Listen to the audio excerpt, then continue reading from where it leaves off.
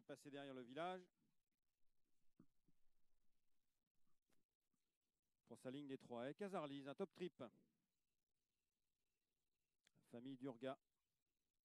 800, quasiment 900 000 euros de gain, Urga. Tout petit cheval d'un talent fou, entraîné par Gilles Chénion. Un cheval très très à l'aise sur les haies.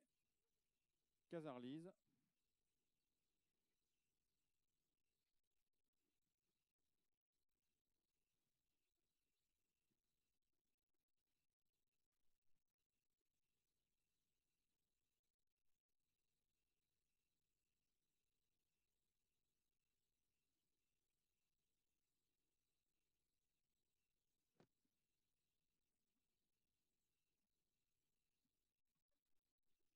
Voilà, le 63, le 63 qui accélère. 63.